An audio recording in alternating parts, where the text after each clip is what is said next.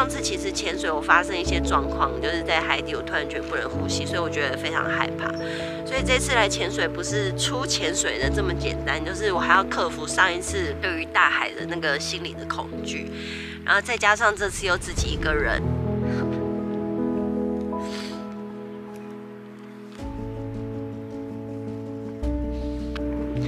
看看我在哪里？必见水。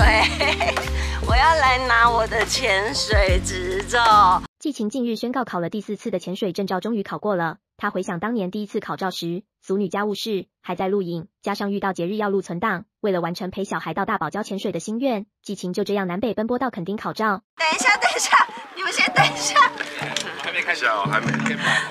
给我冷静一下。接下来教练会教你如何跨步式入水。怎么办？我很喘，怎么办？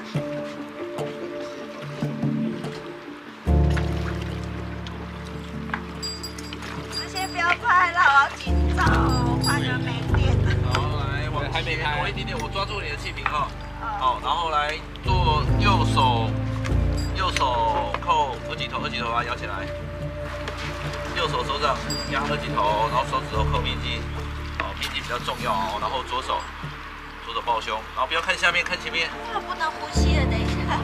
很想跟大家分享，因为我觉得人生就是这样，不是只有潜水，有很多事情，其实你是自己害怕，自己局限了自己，那可能能够帮助你的也只有你自己，所以我很开心可以跟大家分享我的过程，然后一路走来，因为上次其实潜水我发生一些状况，就是在海底我突然觉得不能呼吸，所以我觉得非常害怕。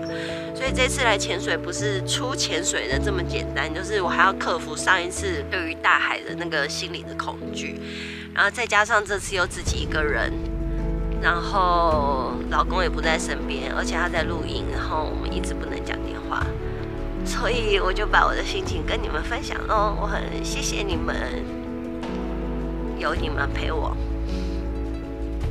谢谢。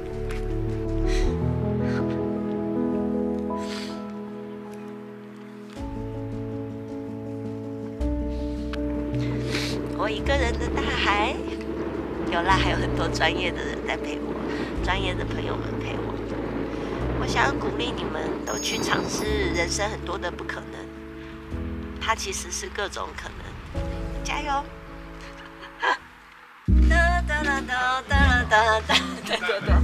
恭喜你，终于完成了 我们两天的训练受训，哦，也完成了今天的传潜任务。对，耶，非常辛苦，终于达成了，赞。你有没有觉得教过最难的就我了？有一点点。